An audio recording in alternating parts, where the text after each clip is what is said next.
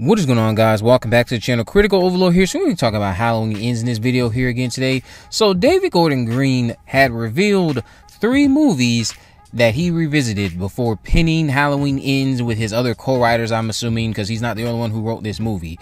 Uh, those movies that he listed, and this was again from the Empire Magazine issue, he said the movies he revisited were Christine, which we learned about. Uh, he's also described this movie as a coming of age story, and he asked John Carpenter if it was a little too much like Christine. So we know about that already. The other movie he mentioned was Butcher Baker, Nightmare Maker, I believe that was the name of it.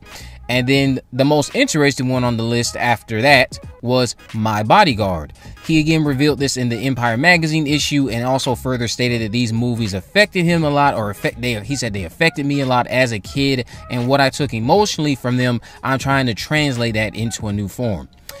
Yeah. So the reason the My Bodyguard stands out the most is because it's about an individual named Clifford who gets bullied at their new school and decides to get aid from an overgrown misfit who strikes fear into the students and teachers at the school, I'm assuming, or on campus.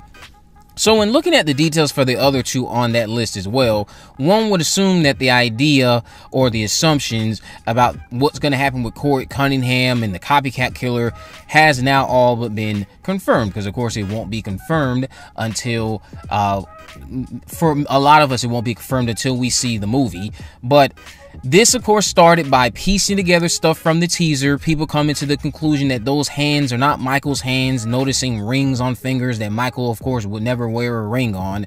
Plot the plot log line, and then now this from this David Gordon Green interview where he mentioned the movie My Bodyguard being one of the things he revisited. And when looking at what My Bodyguard is about, that seems to suggest that a lot of what people are assuming will happen and whatever rumors are out there are going to end up being true when it relates to Corey Cunningham's angle in this movie. Now, again, execution is everything, and we'll see if we get exactly what most of us are expecting a film carried by a boy named Corey who develops a bond with Michael Myers. And after being accused of killing a young boy, he, for whatever reason, is the new Haddonfield target, starts getting bullied, and then him and Michael take out their revenge on those people. Uh, Michael, in this case, of course, would be the bodyguard, I guess. But the problem with this time jump idea so far is that as of now, until I see the movie, it feels like Laurie Strode's significance is being tossed aside. Uh, now, sure, again, you can say she's the reason some of us will all go out and watch the movie, but how many are expecting her to carry the film? And how many, of course, don't care one way or another and they're just going for Michael Myers? Anyway, so we started off in that 2018 movie with Laurie, who has been haunted by those events in the 78 original. She's lost her daughter to the system. She spent her life preparing for Michael's return to get her, ruin relationships, and she's the woman who cried wolf in Haddonfield, essentially. So she has a lot of very interesting material to work with, but Michael Myers never goes after her during that night. And later in the night, that same night after he returns, she also further learns that Michael was never after her, which definitely had to do something to her mentality while also raising the question for many, many fans, uh, as the question would be, well, why is she still here? Here's the thing. Halloween Kills effectively gave you a reason, and it's a very profound reason that they could have built into for Halloween Ends, and I'm sure that's the direction they were going to go with. Uh, that reason for why Laurie is still here is Karen. While while in Kills, that dialogue might have eradicated or brought down her role in 2018.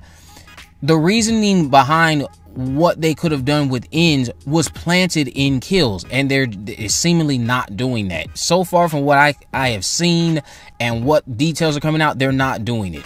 They are not doing that Kills gave you Karen, the death of Karen, the daughter she spent her life trying to protect from the boogeyman, ended up dying at his very hand. Now, sure, you could say, well, Laurie might have some guilt because if she never trained Karen like that in her childhood, then maybe Karen wouldn't have thought she could outsmart Michael, which got her killed for her efforts.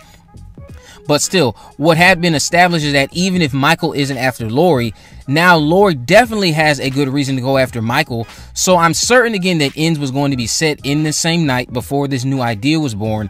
I just find that Laurie's character is being downgraded to the back seat in the worst way possible. If Corey Cunningham actually obtains Michael's mask and then Michael tracks him down to Laurie's, it's just another coincidence for why these two have a final confrontation because you could argue they don't even have a conflict anymore because Laurie isn't after him in Ends and he isn't after her in Ends. Perhaps it wouldn't have, or perhaps what would have been better is if they let Michael, let's say, rediscover a picture of Laurie from the reporters in that 2018 movie before he killed them and let that obsession he had in 78 just be reignited. She doesn't have to be his sister or anything, but at least there's something to work with because the coincidental battles that they're having, that's not enough. And a lot of people would argue that it's unrealistic, and I wouldn't even blame you if you chose to argue that. So they had a central conflict that ends could have built on from the ending of Kills, and it just seems like it isn't doing that based on what we've learned so far. And again, it just feels like the level of importance Laurie has is being completely ignored in favor of this new narrative, but yet you still kept Laurie in the movie. The, the the problem I'm seeing here with this is that again, Halloween ends more than likely should have gone down the rabbit hole of giving Laurie the center stage one last time because of the fact that in Kills in 2018, Kills basically seemed like her her her resting. And then she was supposed to pick it back up with ends. You gave her a narrative to go off of and motivation to go after Michael. Yeah, she just learned that Michael isn't after her, but she now has more than enough reason to go after him.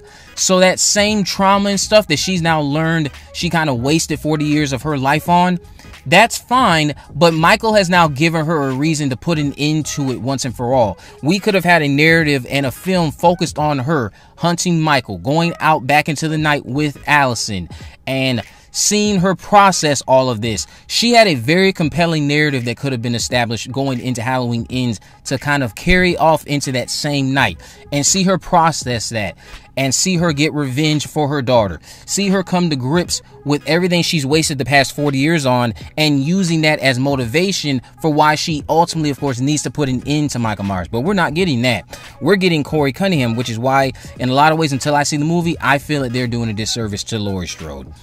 But let me know what you guys think about all this down in the comment section below. If you haven't already, of course, make sure you subscribe, turn on post notifications, and there is a video in the description. I'll have links on my social media accounts on Facebook, Twitter, and Instagram. You can message me there, of course, let me know any movies, news, or reviews you'd like me to discover or you would like me to cover in the future. And with all that in mind, guys, I will see you in the next video.